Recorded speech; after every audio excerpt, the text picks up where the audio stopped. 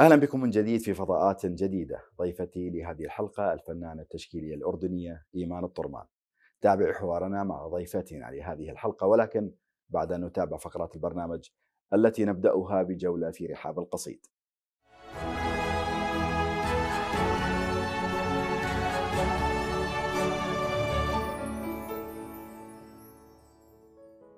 باقون. موت كثير. والدماء دماء والطائرات على القطاع سماء وعويل موتى في الشوارع لا يرى وبكاء عجز لا يفيه بكاء. فالصمت يرقص من حرارة روحه والحبر يضحك والكلام هراء والسادة السفهاء مثل مطية خرساء يعلو ظهرها الدخلاء. قالوا وما قول السفيه من الورى إلا نعيب خائف ورغاء نستنكر الإرهاب ثم ندينه فالميتون على يديه سواء. صمت مريب خافت لا يستحي والصمت في لغة الحروب عواء والله والله لولا خشيتي من جملة يغتال معناها البسيط حياء. لقطعت شكي باليقين وقلتها يسمو على تلك الوجوه حذاء. ولقلت مهما بالعقال تزينوا سيطل من خلف العقال نساء. لبسوا ثياب رجولة تبلى كما يبلى الظلام إذا ارتداه ضياء. فتأمركوا وتصهينوا وتنازلوا باقون كالتاريخ يا عملاء. باقون ما بقي الزمان دليلنا أنا هناك ويشهد القدماء باقون كالزيتون فوق جبالنا كاللوز يحمل زهره الشعراء باقون كالأشجار إن عصفت بها ريح تساقط حولها الغرباء باقون حتى ينطق الشجر اقتلوا من أفسدوا في الأرض ثم أساءوا. باقون حتى تقرأ الدنيا لنا سفر البلاد فيفهم البسطاء. باقون حتى يصدح البوق الذي يصحو على نغماته الشهداء. بعد هذه الجولة في رحاب القصيد الآن أدعوكم إلى جولة في رحاب الكتاب وفقرة هذا كتابي.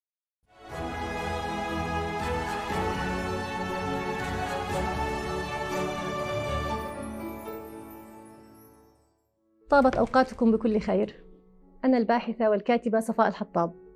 سأتحدث اليوم عن رواية النبطي المنشود وهي رواية تقدم مدينة البتراء الفلكية في الأردن من خلال السرد الروائي وتقدم تفاصيلها الفلكية من خلال رحلة البطل معمر ورفيقته المصرية سونيا اللذان يعملان في البحث العلمي ومن خلال رحلة مشوقة يعني تتخللها المغامرات وقصة رومانسية تجمع البطلين نستطيع أن نتعرف إلى المدينة كيف بناها الأنباط من خلال اتصالهم بالسماء وكيف كانت هذه المدينة التي لا زالت للآن تنير الحضارة الإنسانية كانت هي درة ونتيجة وثمار لبحث علمي طويل اشتركت فيه كل حضارات المنطقة.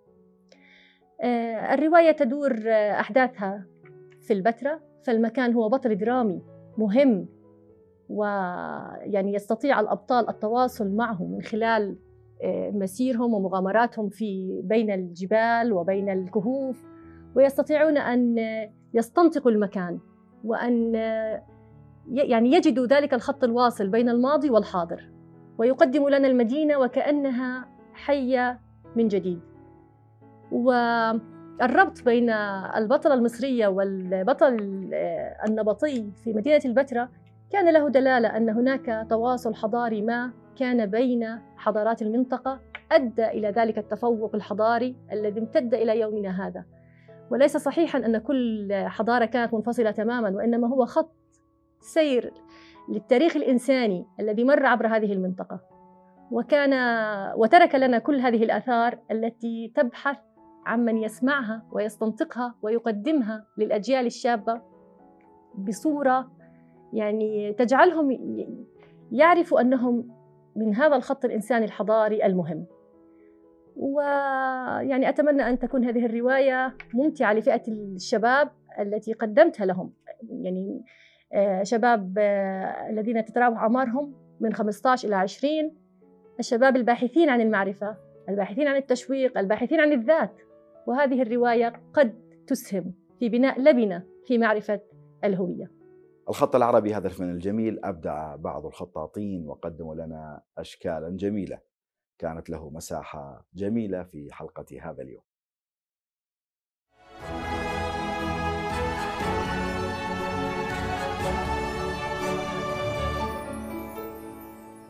اليوم يعني آه، شيء جديد ومختلف يعني يحتاجه آه، الخطاطين وخاصة المحترفين. يعني هو آه، نحت القلم المعدني. نحت القلم المعدني هو بحاجة إلى جهاز يعني هو دريل يعني صغير و رأس القلم كما تعلمون يأتي مدببا أو يعني قد يسقط على الأرض فيعني يكون في مشكلة في هذا القلم. لذلك سوف آه، يعني نأخذ آه، يعني كيفية آه، نحت القلم نحت القلم. يعني أنا قلمي كبير بدي واحد ميلي أنا قلمي أحب أن يكون شكله جميل. نحن بحاجة إلى هذا الدريل الصغير وقد يكون في أكبر وقد تستخدم أي دريل. وفي بعض بالمناسبة في بعض المرات يعني في يعني يتعذر عليه ذلك في بعض المرات تستخدم القصبة وتلف بالورق الصنفرة تعمل يدويا. بكثير من الصبر يعني آه، ستفعله. وأنا قمت بذلك. الآن نشغل الجهاز. الآن نثبت الجهاز ونحرك القلم بشكل قوسي بهذا الشكل.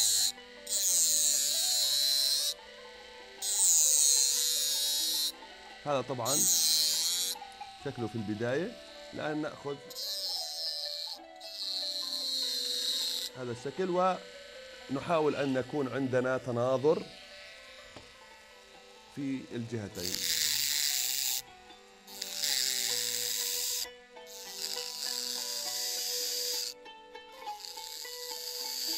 الآن أصبح يعني أكثر نحافة وهذا الشكل العام له. يمكن أن نستخدم مقص لقصته أو الكماشة يعني نسميها ولكن أنا سأستخدم نفس الجهاز في نحته.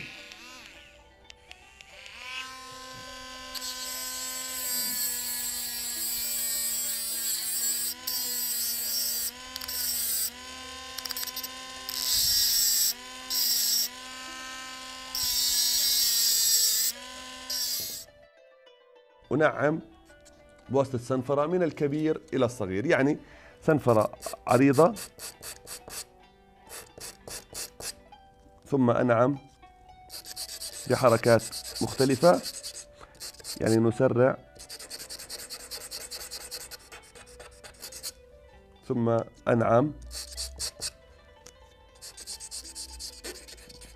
ونجرب الكتابة. أصبح القلم يعني أجمل. ويعني نجود أكثر ويعني مع التدريب يصبح لديك خبرة أكثر فتبدع أكثر. شكرا جزيلا لكم وأهلا وسهلا بكم.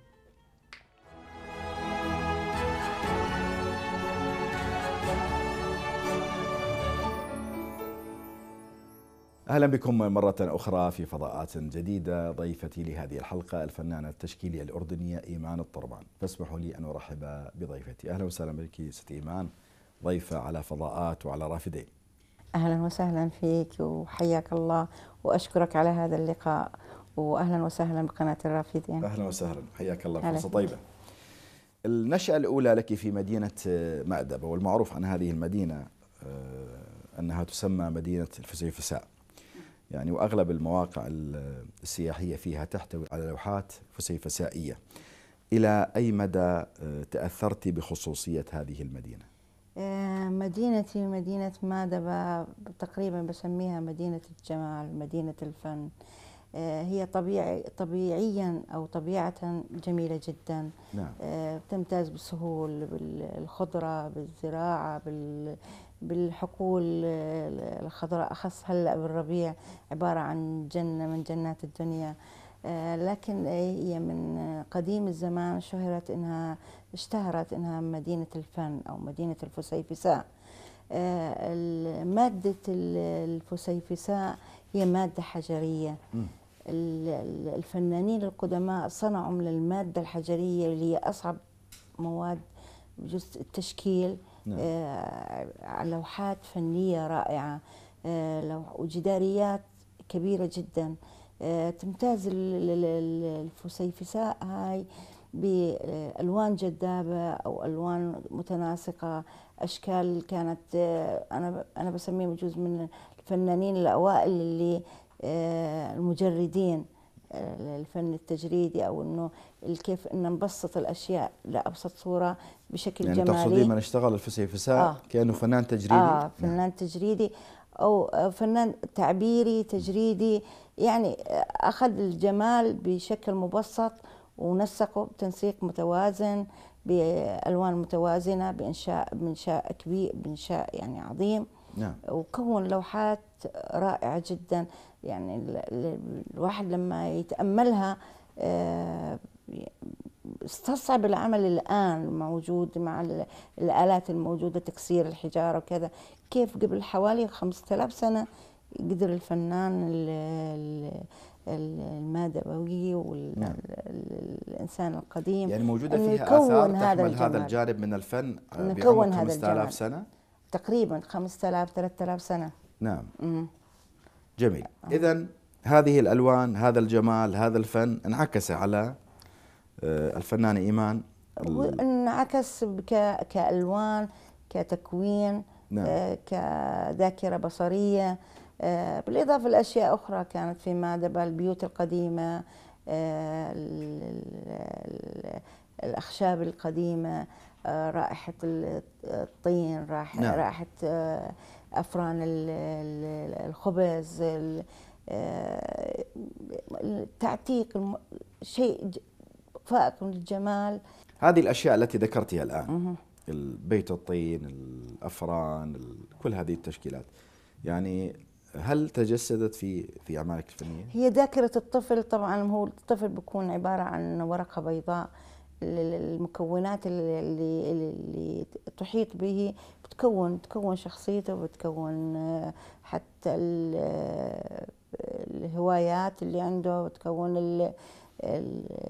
الاهتمامات أكيد يعني كطفلة كنت أنتبه للأشياء هاي آه، بجوز أنه ذاكرتي البصرية آه، كانت أقوى من الذاكرة حتى ال- الحسية العادية جميل إذا مهم. هذا المزيج من مفردات الجمال في مهم. هذه المدينة مم. كما ذكرتي هذه التفاصيل يعني شكلت أو أو أو أنها نمت البذرة الأولى للفن التشكيلي في داخل إيمان مم. الطرمان. من يتابع مسيرتك الفنية يلمس أن المدرسة التجريدية التعبيرية يعني تنعكس بشكل كبير على أغلب آه، أغلب آه، أعمالك. آه طبعا. فلماذا آه، أخذت هذا ال- هذا آه المنحى هي هاي ال- مرحلة هذا بجزء المذهب؟ المرحلة بعد ما. بعد مرحلة التأسيس بعد المدارس الواقعية والمدارس الأخرى. آه، وصلت لمرحلة التجريد. التجريد عبارة عن تبسيط الأشياء الموجودة في الطبيعة. نعم. آه، بشكل أنه أنت تكون متفرد بالتبسيط هذا. أنت بتخلق آه، مفردات ما سبقك آه، إلها غيرك. نعم. يعني بتقدر تتفرد فيها أكثر مما مثلا تمشي بالمدارس الواقعية أو تقلد المدارس الثانية. لأنه حتما حتما راح تتأثر وراح ممكن تقلد لكن بالتجريد عندك تفرد تفرد بالإنشاء وحرية حرية باللون حرية بالتعبير حرية بالإنشاء لكن التجريد مش عشوائي التجريد المدروس. نعم. تعرف وين تحط اللون تحط ال ال الإنشاء التوازن آه، ممكن التعبيرات. يعني بتسلط على الشكل بتسلط على اللون أكثر من الموضوع لأن الموضوع يتولد لوحده من نعم. اللون من تكوينات اللون المواضيع بتتكون لوحدها لأنه اي أي آه، خط من البشر بكونه البشر لابد يكون في الطبيعة طيب التصور العام عن الفن التجريدي والتعبيري هو يعني عشوائية الأشياء عشوائية الألوان أنت الآن قلت يجب أن مش يخضع ع- لدراسة لا. أو هكذا لا. لنا- كمتابعين. أها. آه لم عندما ننظر آه للوحة أو للعمل. لابد يكون فيها جمالية. ننظر ننظر بغض النظر. أحيانا الأشياء العشوائية عندما ننظر, ننظر نخرج إلى الطبيعة. آه. الطبيعة الأشجار الحجر كله أيوة. بشكل عشوائي. لكن هو جميل جدا بحيث هو متوازن نعم. عشوائي. يجوز عن بنظرنا لكن بالأصل بيكون متوازن. نعم أتحدث عن الدراسة. أشياء قلت. يجب أن يخضع لدراسة فكيف يخضع لدراسة؟ التجريد لابد إنه له دراسه دراسة آه، بالنسبة للفنان المتمكن آه، ما ما تأتي من ال من ال الاستعداد وال وال آه، ال- ال- الأشياء المت- المتصورة اللي بتكون مجردة آه، الدراسة بتيجي من تجارب الفنان لما لما آه، يبدأ في اللوحة هل هناك ضوابط يعني طبعاً. بتت- للفنان؟ آه، طبعا طبعا أنا تحدثت عن العشوائية عندما ننظر هي بعض هي مكونات بعض. اللوحة مكونات اللوحة نعم. المعتبرة نعم واحدة مهم. لابد أن يكون في توازن لابد يكون في إنشاء قوي لابد نعم. أن يكون في آه، موضوع لابد يكون في آه، توازن بالشكل توازن باللون لابد يكون بناء قوي لها جميل الحديث لوحة عن بالدنيا الحديث عن اللون يعني. عندما ننظر لل- للوحة آه، نحن غير المختصين لكن ربما لدينا آه، دراية أو معرفة بسيطة في الفن التشكيلي.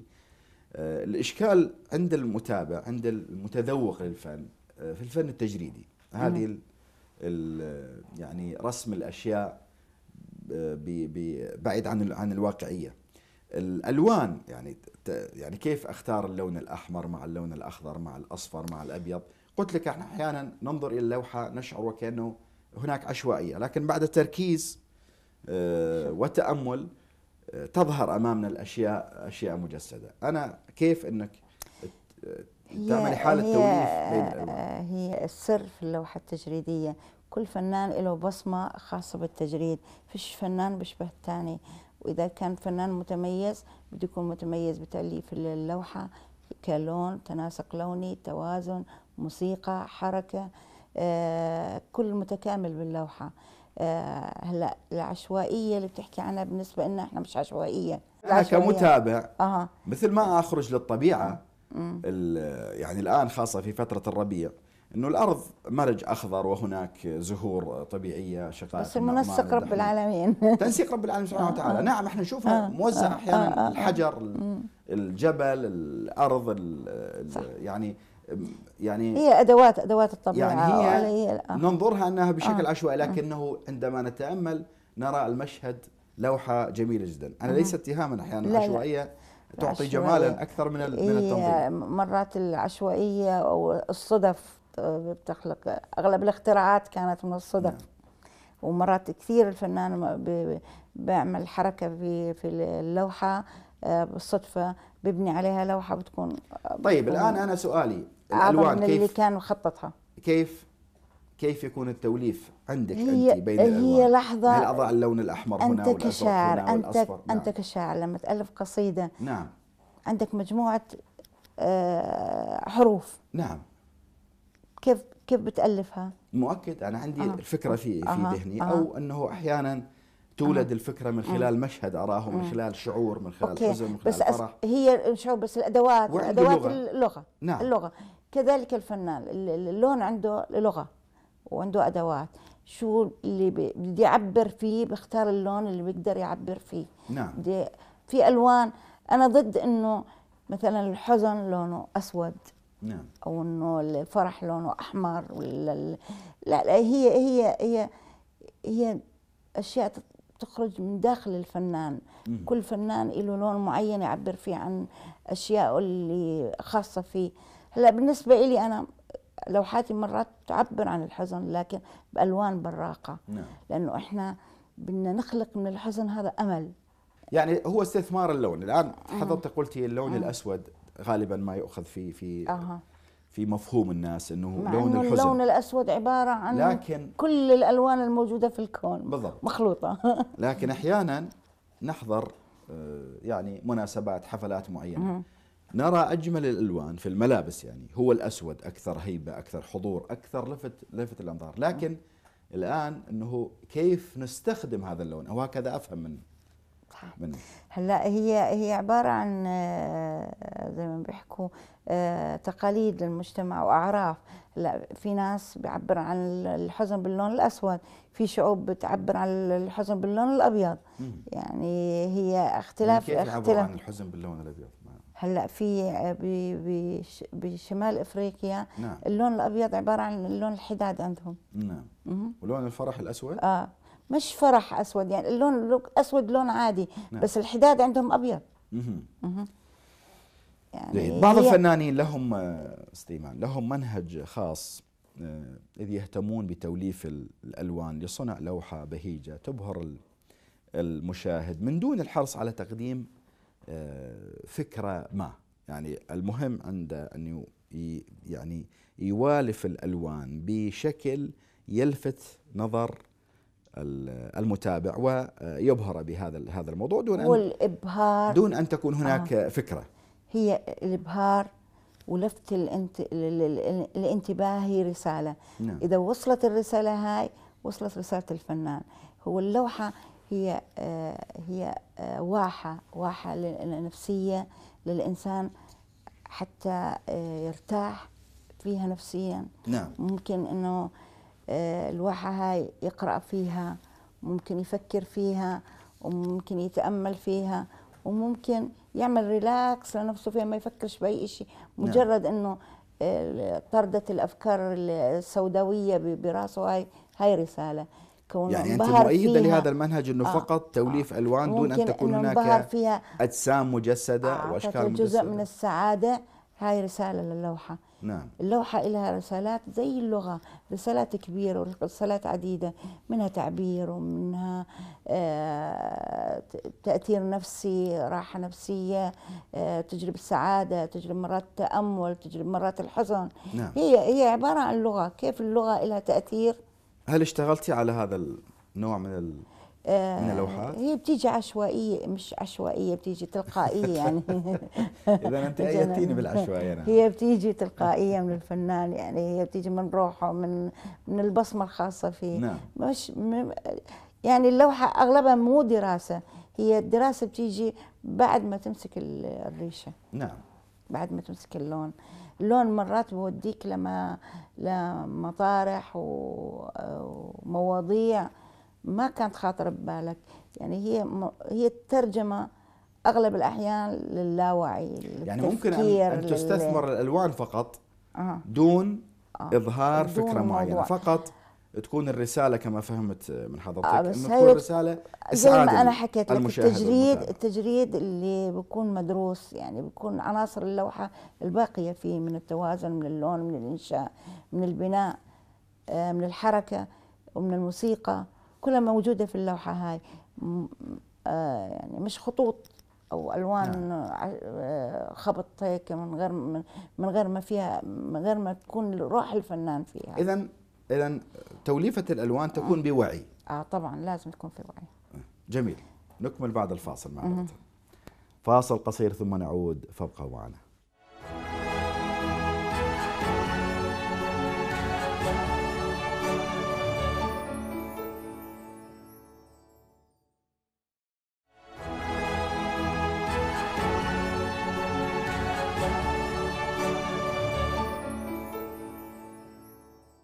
أهلا بكم من جديد في فضاءات جديدة ضيفتي لهذه الحلقة الفنانة التشكيلية الأردنية إيمان الطرمان. فاسمحوا لي أن أرحب بضيفتي. أهلا وسهلا بك. أهلا إيمان وسهلاً. الطرمان. هلا فيك. مرة أخرى. يا أهلا وسهلا. كنا نتحدث عن اللون و يعني وبعض الفنانين قلت لهم منهج إنه فقط اللوحة عبارة عن ألوان دون تجسيد أشكال معينة أو فكرة معينة وقلت إنه يعني هناك رسالة للفنان انه ممكن آه، فقط إنه يوصل البهجة أو السعادة والسرور إلى المتلقي وجميل.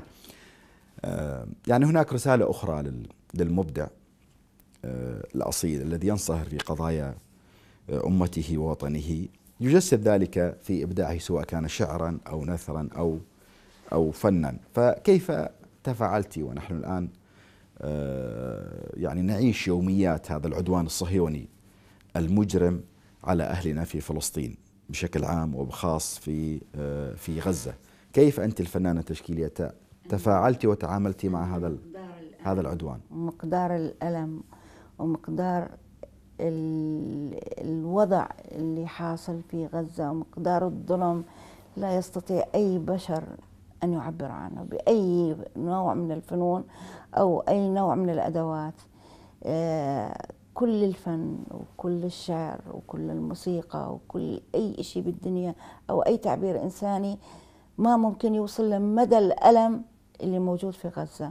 نعم. لمدى ألم الطفل يتساءل وين ماما؟ وين بابا؟ مم. أي قصيدة أي شعر أي أي لوحة ممكن تعبر عن هذا الألم.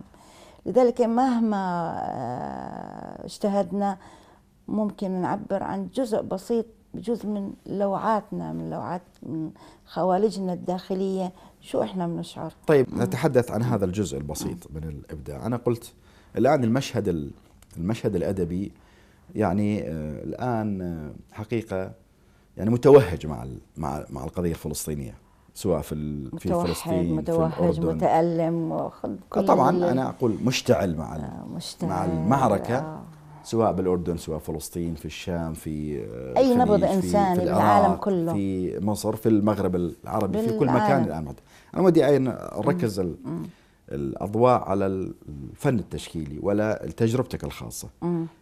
نتحدث عن اللوحات التي تناولت هذا الوجع الوجع الفلسطيني إذا بحكي لك إشي أنا أنا رسمت لوحات بخلال المرحلة هاي نعم. لكن ما كان قصدي غزة أبدا مم. لما كانت تكمل أو إنه أبدأ فيها ما كانش ببالي إنه أرسم عن الحرب أو أرسم عن غزة لكن تلقائيا لما خلصت كانت تعبيرية نعم. يعني قريبة من الواقع عن الأحوال في غزة. آه، في لوحة ال- الأم نعم. اللي حاملة أشلاء ابنها. نظرة الرعب في وجهها للظلام اللي كان فوق راسها آه، للدم اللي, اللي يتناثر في في الأشلاء. آه، هاي هاي لوحة. آه، اللوحة الثانية عبارة عن طفل بملابس براقة وجميلة وعبارة عن شهيد. نعم. شهيد بأرض ملقاة كلها سواد. يعني عندما تجلسين أمام اللوحة هكذا أفهم. لم يكن هناك في ذهنك فكرة أنك ترسمي عن الحرب لكن لا اراديا لا إراديا. انسقتي إلى هذا هذا المشهد؟ نعم. نعم.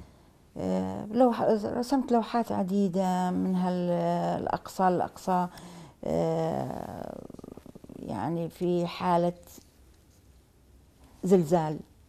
نعم. حاملينه لكن حاملينه في قوارب قوارب نجاة. مجموعة من ال- ال- المحاربين أو مجموعة من المجاهدين واضعين الأقصى في في قوارب نجاة آه، مع الأم العملاقة اللي كانت بجنب الأقصى بتشد فيهم آه، تعابير آه، هي تخرج من اللاوعي لأنه اللاوعي الموجود عندنا الآن هي هي الأحداث في غزة أحيانا اللاوعي أيضا يكون عند. عند المتابع المتلقي الذي آه. يشاهد اللوحة أحيانا نعم. يجد آه، يعني أشياء أو يرى أم- أمامه آه، مجسمات كأنها توحي له آه، إنها انعكاس لهذه هلا أنت لما لهذا تشوف المشهد. لما تشوف يعني إذا رطوبة- سمحت لي هناك لوحة. أنا عندما. طلعت عليها لك يعني أمامي ألوان متداخلة لكن عندما تأملت باللوحة بعمق رأيت أمامي كأنه هناك كاميرا تلفزيونية رأيت كأنه أعمدة خرسانية آه، لبناء مهدم هناك تشابك القضبان الحديدية التي. تجردت من من الخرسان أوحت لي إنه هذا المشهد هو مشهد مشهد غزة لأنه إحنا شفنا في أكثر من مرة منها آه، مسجد في في في رفح إنه هو مهدم. باقي واقف على أعمدة لكن المهدم السقف والخرسانة يعني ال- القضبان الحديديه مجردة من من الخرسان. كأني بدأ لي هذا هذا. المشهد من خلال هذه اللوحة. هل فعلا أنا آه، قرأت المجسمات في هذه اللوحة أم هي خيالي إلى الجمالية في. اللوحه في اللوحة التجريدية إنها آه، غير مباشرة في التعبير. نعم. يعني آه، ممكن الفنان يقصد شغلة ولا انه لأنها مش مجسمة تجسيم واقعي. المتلقي يسرح بخياله فيها ويجد أدواته ويبني قصص عليها. لذلك آه، ال- ال- السحر في ال- ال- الرسم التعبيري التجريدي إنه بي- بيخلي حرية لكل إنسان يتصور الشكل أو نعم. القصة اللي بخياله لهذه اللوحة. ممكن يجد أدوات. لا أنت لما مرات آه، تطلع على حائط كله رطوبة بتخيل لك أشكال وخيالات. كل إنسان بتطلع على الجزء هذا ممكن يتخيل اشكال أشكال وخيالات غير عن الثاني. الإنسان يعني- العادي يعني- آه، يتذمر من هذا المشهد رطوبة وكذا يبحث عن لا، من, لا. من يوصل أما ال- آه الإنسان أما الفنان الفنان بيشوفها بيشوفها لوحات. ينظر أنه لوحة. أها. نعم. هي لذلك عين الفنان لا- ما بتمل. يعني بيشوف بالحجارة جمال بيشوف بالأسطح جمال بيشوف نعم. بال حتى بالنفايات وألوان النفايات بيشوف فيهم جمال. نعم. لا في لوحة م- آه، شفت منظر آه، آه، نفايات على الشارع وبس كانت ألوانها براقة. نعم. صورتها وعملتها لوحة. يعني هو هاي خاصية الفنان انه بخلق من الأشياء العادية بعملها أشياء جمالية وغير عادية. نعم جميل. المشهد الفني الأردني والعربي يزدحم بال بالأعمال الفنية التي تناولت القضية الفلسطينية آه، هذه الأعمال هل استطاعت أن يعني وتحديدا الملصق ال- الصوري هل استطاعت أن تؤثر في ال في ال في الوعي العام خاصة عند الغرب لتغيير معادلة الصراع بين الكيان الصهيوني والكيان الصهيوني المحتل وال ما ما اظن المقاومة ما أظن الفلسطينية. إنها غيرت وما أظن إنها أثرت لأنه كانت عندهم ال- المجتمع الغربي آه، عندهم الثقافة بالغير آه، بسيطة جدا نعم. وضئيلة جدا. يعني أنا جربت و- وخالطهم. آه، مجتمع متقوقع على ذاته بهمه نفسه بهمه ال- الأشياء اللي بتهمه الموجودة عنده. يعني الإليت الناس النخبة ممكن تهتم بالفن العالمي لكن ال- ال- الناس كعوام الشعب ال- ثقافتهم جدا بسيطة. لكن الآن نلاحظ ما نلاحظ في بلدان الغرب هناك تظاهرات كبيرة واسعة جدا. اللي- رفض أيوة. حالة ضغط على الأنظمة السياسية أي- حتى بعض السياسية اللي الأوروبية عملته غزة. غيرت موقفها أيوة حد ما. اللي عملته غزة انها هزت المجتمعات نعم. هاي. هزتهم إنه إنه حكوماتكم بتدعي الديمقراطية وبتدعي الإنسانية. انها بعيدة عن الإنسانية. الدم الفلسطيني يعني تقصدين نثر مشهد الحرب مشهد هو المعركة اللي, هو اللي حرك غير العالم هو اللي حرك أكثر العالم من الملصق أو أكثر- اللوحة أكثر بكثير. نعم. الدم الفلسطيني المنثور على أرض غزة هو اللي حرك العالم حرك الضمير الإنساني حرك ال- ال- المجتمع الغربي لكن هناك غير رسوم- نظرته هناك رسوم للعربي المسلم. خل يعني هناك رسوم ولوحات ل آه، يعني آه، فنانين أو رسامين من ال من الغرب أو صحفيين ما, ما يعني أها. اللي مختصين بال- بالكاريكاتير. يعني عملت لهم مشاكل رسومهم. هلا ال- التي كانت رافضة للحرب وأيضا اللي شهر بيكاسو التي جرنيكا تظهر جرائم الكيان الصهيوني نعم. لوحة جرنيكا اللي شهرت بيكاسو هي عبارة عن فضائح حرب يعني نعم بس لكن هم بيهتموا بحربهم هم بمآسيهم هم ب... نعم لكن هي زي ما حكينا الدم النثر في غزة. صح الضمير العالمي صح إنه هناك في ناس في شعب مظلوم جميل لكن أمة هذه اللوحه اللي. تحدث عنها. لجارنيكا لبيكاسو التي رسمها أثناء الحرب الأهلية آه. وتدمير هذه هذه المدينة آه. ال- الآن تستخدم من بعض ال- المنظمات الإنسانية التي تتآزر مع مع الشعب نعم. الفلسطيني مع هذه القضية نعم. ودائما تستخدم استخدمت هذه اللوحة ك- كتعبير لرفض العدوان هو التعبير والتعبير الفني عموما آه، ال- التشكيل أكثر شيء بيعبر عن مآسي الإنسان نعم الإنسان اللي عنده ضمير اللي عنده اللي عنده وعي اللي عنده لكن لما تكون مطموس عليه إنه إنه إنه هذول الشعب مجرمين أو هذول الناس بصير بر لنفسه يقول هذول يستاهلوا. يعني بتسمع كثير من من السياسيين الغربيين يعني أطفال بتموت وإشي واضح لأي إنسان إنه هذول مظلومين. لا. نعم، هذول إرهابيين يعني يستاهلوا واضح من ال.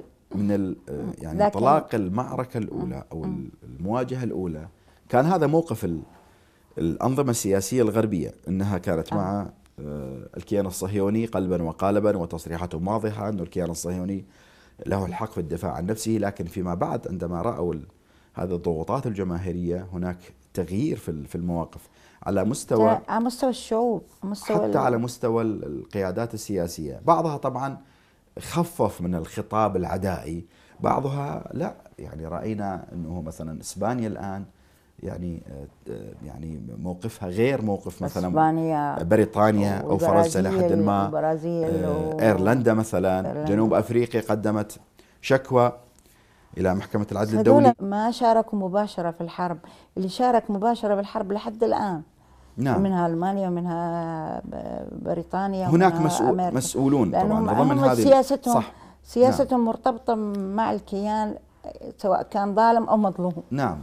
مؤكد هم مع مع الكيان الصهيوني ظالما أو مظلوما. لكن أيوة. أنا قلت إنه في البداية لا، أمريكا بس في حركت وعي صار حركت. أساطيلها. هلا التحرك بالشارع الغربي أكثر بكثير من بعض الدول العربية. نعم.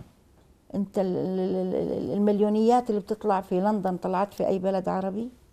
ما إحنا هذا هو هذا الذي نتكلم عنه. نعم الآن مش إنه هذا هاي مشان نحكي بصراحة نعم. من الصورة. نعم. الصورة هي اللي حركت صوره أول شيء لكن طلع. التلفزيونيه أنا أيوة، تحدثت أيضا آه، عن مم. الملصق هو الصوري الدم اللي- اللي مؤكد هو. صورة الدم مؤكد أيوة. اللوحة هي ترسم صورة أيوة. الدم صورة أيوة. الطفل صورة هي البناء الصورة صارت أبلغ من أي لغة نعم ال- يعني بعض النقاد يرون أن هناك نوعا من التنافس. في الفن التشكيلي بين الرجل والمرأة يعني أنت الآن كفنانة تشكيلية ضمن المشهد الفني هل تلمسين هذا هذا التنافس؟ وكيف تقيمين آه، مستوى المرأة في المشهد التشكيلي؟ هي كي أي شيء بالدنيا بين الرجل والمرأة بنقدر نحكي عنه مش تنافس نقدر نحكي عنه تنوع بال تنوع بال بالأفكار تنوع بالرؤى تنوع بال آه، لكن هي تكاملية آه، بالماضي ممكن كان نشاط المرأة خفيف بالفن لكن الآن بجوز نجد أنه عدد الفنانات بجوز أكثر من عدد الرجال. هلأ التنوع في المواضيع في في التعابير تختلف مع طبيعة المرأة عن طبيعة الرجل. الرجل معروف شو اهتماماته ومعروف إنه الأشياء اللي بيهتم فيها أو طبيعته. تختلف عن طبيعة المرأة بإنها بتحب الأشياء الجمالية الرقيقة ال- ال- ال- ال- التعبير الإنساني اللي ما في عنف ال- ال- الأشياء الأقرب لطبيعة المرأة. آه، هو عبارة عن تنوع لكن في تكامل يعني. مش إنه قصة تنافس. تنافس بيجي بين الفنان وفنان ممكن فنانة وفنانة ممكن. التنافس عبارة هو طريق للإبداع يعني بس التنافس اللي يكون تنافس لا إحنا إذا أردنا أن نقيم مثلا المستوى الفني للفنان الرجل والمستوى الفني للمراه الفنانة. يعني آه، كيف نقيم مستوى المرأة؟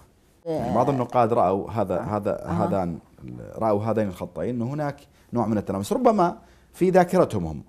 قد لا يعني أنت وأنا قد لا نرى هناك آه، تنافس. لكن الناقد الفني. هو هو يرى هو عمل إنسان. أو هكذا أراد أن هو- يبلور الفكرة هو والحديث عن هو عمل النقد إن إنساني هناك تنافس. عمل جمالي الآن وإبداعي. كيف تنظرين إلى مستوى ال- المرأة في المشهد التشكيلي؟ هلا ما في مستوى مرأة ومستوى رجل في مستوى لوحة في نعم. مستوى فن وغير مستوى فن رفيع قوي جميل.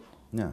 ومستوى فن رديء. ممكن يجي من المرأة وممكن يجي من الرجل. نعم. هو هي التنافس في نوعية الإبداع في قوة ال- ال- ال- العمل. آه، في رسالة العمل آه، في أجزاء العمل آه، أكثر منه بين ذكر وبين أنثى يعني. نعم. لكن بالنسبة للاهتمامات وبالنسبة مو... ال- مجموعة المواضيع بجوز اهتمامات المرأة بتختلف عن اهتمامات الرجل ولا يعني أنه هذا أفضل من من ذلك. لماذا دائما كأي الرجل كأي أدب بالدنيا يعني في دائما اللوحات التي دائما اللوحات التي آه، لها ثمن عالي في في المتاجر الدولية على آه، مستوى الفن التشكيلي والرسم دائما تعود إلى رسامين رجال لم نسمع صح. هناك لوحة صح. خذت لأنه- مدى وصدى كبير لرسامة آه، هذا بالماضي امرأة. لكن بالحاضر الحاضر عدد الفنانات بجوز أكثر من وليس من منطلق انحياز الرجل لكن لا لا مش. انحياد هي واقع. نعم. بجوز لأنه كانت المرأة آه، ب- ب- بالمهام الموكولة لها كانت مهام رهيبة ما في ما في عندها وقت إنه حتى لو كان عندها إبداع أكثر من رجل انها تجسد هذا الإبداع في عمل. نعم. لأنه أنت بتعرف ال- الأشغال الأشغال البيتية وكانت كلها معتمدة على المرأة يعني ما كان عندها لا لكن هي موجودة الآن في موجودة في هلا- المشهد لا، التشكيلي هلا. آه هلا آه كثير الحياة سهلت المرأة تكون عندها تفرغ وعندها مجال إنها تبدع بالتعليم بال... جميل اذا نامل ان آه، تكون. هناك لوحة تكون لفنانة تأخذ صدى. موازي لما نسمع من خلال اللوحات التي تعرض في المعارض الدولية للرجال شكرا لك أهلاً الفنانه. التشكيلية الاردنيه إيمان شكرا لك الطرمان شكرا لك والله أهلا وسهلا فيك حياك. لك. شكرا هلا لك. شكرا لك أعزائي المشاهدين أشكر لكم حسن المتابعة حتى ألتقيكم في فضاءات أخرى. أستودعكم الله. والسلام عليكم.